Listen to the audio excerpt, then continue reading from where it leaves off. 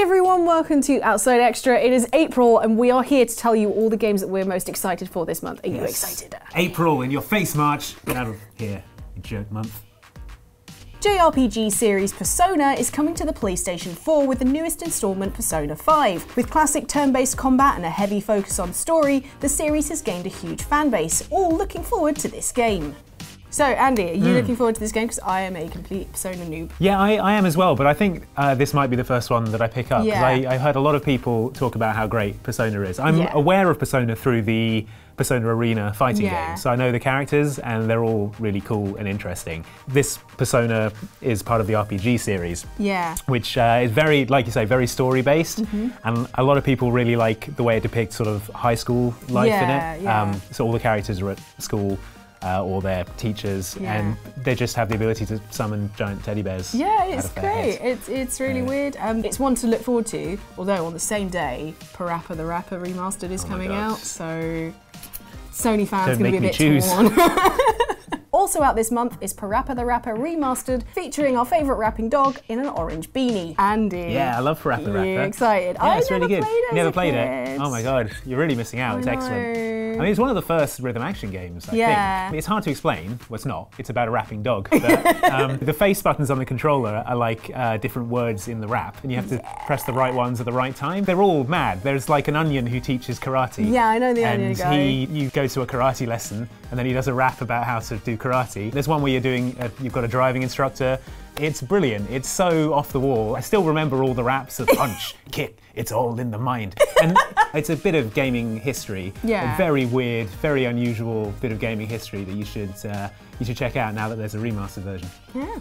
Pretty pun-filled platonic platformer Yooka-Laylee is coming to us from the minds behind much-loved Banjo-Kazooie. One of Kickstarter's success stories, this looks to be a modern throwback to 90s platformers. I don't know if you noticed, Andy, but uh, I've got, I've got a Got a t-shirt. t-shirt on I'm everything. really excited about this game. presumably you hate Yooka-Laylee. I would yeah, say? Not looking forward to I it. I am really, really looking Really forward to it. What's your opinion on the upcoming game? What Yeah, I'm you really looking like? forward to it. I played the Toy Box demo. Yeah. I played a bit of it at uh, Gamescom or E3 last year. Everything about it is so nostalgic music. Like the yeah. music is that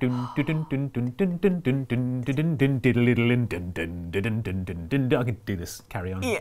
Just bring me a xylophone. Where's my xylophone? And all the characters talk in that thing where uh, they all go and it comes up with the stuff at the bottom. And it's full of like weird puns and everyone's got stupid names. Platforming and oh, and when you go around with uh, Yooka and Laylee and you're rolling around and they go Yeah. and it's really cute. I think it's safe to say that we're excited. Yeah. What you get if a rail shooter and rhythm action game had a baby that got really into dubstep, futuristic game Aaero comes to us this month on consoles and PC. So, have you had a go at this? Because this is a game that I played at Rezzed last year and absolutely fell in love with. Yeah, I've, I've seen it. I've not actually played it myself. But I mean, with rhythm action games, you really need to play them to get the, the feel for yeah. them. What's the music like in it? Um, it's really good. It's like a lot of kind of like really cool urban music. KTB is one of the tracks that they've been demoing a lot. Basically, if you like kind of like bassy electronic music, you'll really like it. So what do you, you do? You go along a track and Yeah, you you, you follow what they call a ribbon. It's moved and mapped in time with the music. Oh, okay. There's big boss battles. It kind of reminded me of like frequency or amplitude. Yes. Um, but it seems, yeah, the stuff like boss battles and things are sort of taking it a little bit further. Yeah, yeah, no, it looks really fun. Basically, if you like that type of music, just grab it anyway, and it's really good. A murder mystery with a time-based twist, The Sexy Brutale has you solving crimes within an endlessly looping day. So what this sounds like is Yes. Groundhog Day, but you're solving murders. Yeah, sort of. I played this uh, a little bit last week at a uh, Microsoft event. What it reminded me of was Ghost Trick, if you've ever played Ghost Oh. Trick on the um, 3DS. In the Sexy Brutale, you have a mansion full of murders that are taking place, and you have Yeah. to stop each of these murders. They just carry on on their normal routine, and you have to find ways to sort of interfere with that routine so as to make sure the murder doesn't take place. So the first one that we played, there was a guy who got shot. We found where the gun was before the murderer took the gun, and we were able to replace the bullets with blanks. That meant that the murder was avoided. So there's all these different, really intricate moving parts on these levels, and you have to try and interfere with them, but in a way that doesn't throw everything off, but just sort of changes things. It's really cool, really complicated. I really like the the art style as well. It's uh, Yeah. that sort of isometric. It looks really cool, yeah. It was the first time I'd seen it last week. It wasn't really on my radar up to that point, but no. after playing it, I was like, actually, that, that seems really cool. Cool. Fans of the Micro Machines series will be excited about the prospect of racing tiny cars on big kitchen tables as Micro Machines World Series comes to consoles and PC. Okay, so I am low-key really excited about this game because uh, I played Micro Machines V3 on the PlayStation 1 a. Yeah, lot. that was a Uh, classic. That was a good Yeah. one. Um, so I'm excited for this, but I haven't seen any gameplay footage or anything so yeah, far. me either. But I mean, it's quite hard to mess up micro machines. You just race around breakfast cereals on Yeah. a table, or Yeah. uh, I really like, Like- the pool table level. Yeah. I like So the the- bedroom. And Yeah, there's a lot of nostalgia there. So I mean, you'd have to go quite badly wrong to mess up a Micro Machines game. I feel like Yeah. like it should be Should be pretty fine. straightforward. There was that um, tabletop racing game that came out maybe a couple of years ago Yeah. um, that I really enjoyed, and it just made me want another Micro Machines Yeah. game. So now that we're getting one, great. Nice. Sequel to night vision wielding Scarefest Outlast, Outlast 2 takes us back into the joy of first person survival horror, with a new story dumping us into a creepy, dilapidated village that teaches us not to trust wells. Andy, you have played uh, the demo of this. Yes. Are you looking forward to this game? Eh, Yeah, I mean, I like uh, survival horror games. First person survival horror is, I mean, I really enjoyed Resident Evil 7. Yeah. I found the, the Outlast games a bit too just needlessly unpleasant. They're sort of the like the hostel of first Yeah. person horror games survival horror games that i enjoy the most are the ones that have i mean they do still have scary visceral Yeah. stuff but also it's quite psychological It's just like that tenseness. so yeah if, if they sort of dial back the really gruesome stuff or just space it out more Space, yeah. yeah, like I'd it. like to see more sort of creepy build to stuff throughout it. It's hard to judge it from the demo, the demo that ends with you getting pickaxed in the crotch. but um, I'll still play it. I just I'll be interested to see how they're approaching the horror this time. If it's just going to be as full on, or if they're going to try and make it a bit more psychological. Mm-hmm.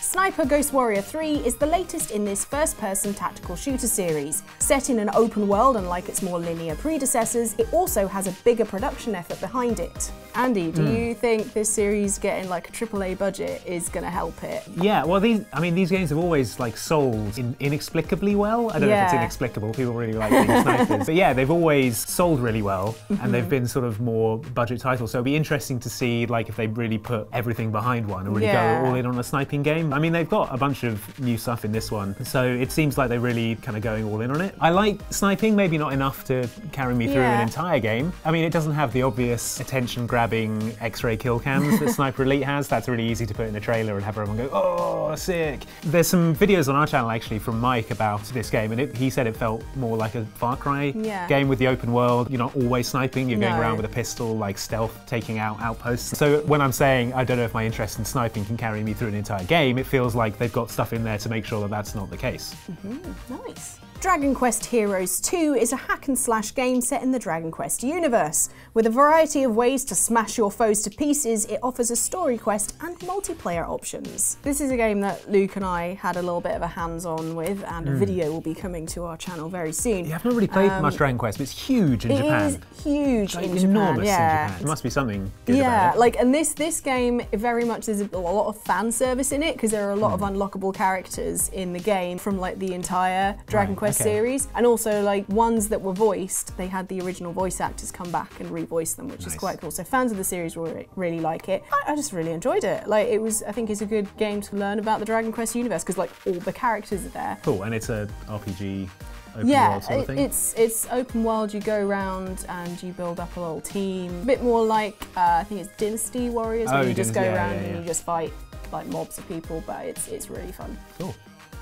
The result you get if you mixed Unravel with all the scariest parts of Bioshock, horror platformer Little Nightmares hopes to tap into your childhood fears as you play as Tiny Six, solving puzzles on the Maw. So, Andy, another Yes. scary game for us to talk about. Yeah, well, it's. I mean, it's not like terrifying, No, scary. It's just it's a, it- different yeah. scary to Outlast. There's definitely. a uh, sort of all-pervading sense of unease throughout the whole game. But yeah, I've played a, I've played a bit of Little Nightmares. Yeah. Unravel is a good comparison. It's sort of like a goth Unravel, Yeah. in that it's uh, you're a little person and you've got all these physicsy Yeah. puzzles, a lot of pushing boxes so you can climb up and pull switches, and there's a lot of being pursued by a weird thing. So there was Yeah. the the chef in that, that one demo. The demo that Luke and I played had, I think he was a janitor and he had like really long arms, but then tiny little feet. And he was like chasing you with his big arms. So Yeah, it's uh, it's more in in that vein of Limbo or Yes. um, Inside. Inside, the, uh, yeah. the sequel, well, spiritual sequel to that. Those were both great games. I think Yeah. they both did pretty well. So if you enjoyed those and you're looking for more of that sort of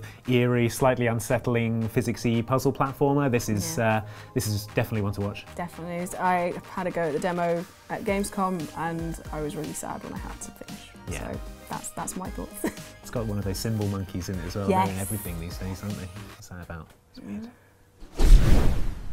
So there are some of the games coming out in April that we are really excited for. Are there any that you are really excited for that we've not mentioned? Let us know in the comments below. Thank you for joining me, Andy. No problem. And sharing your love of PaRappa the Rapper. It's all in the mind. Make sure you subscribe to us and Outside Xbox because they're cool as well. And uh, watch some videos that on here, like over my face. Bye. Bye. Bye. There's videos all over us. Uh, Get 'em off me. Ah, it burns. burns.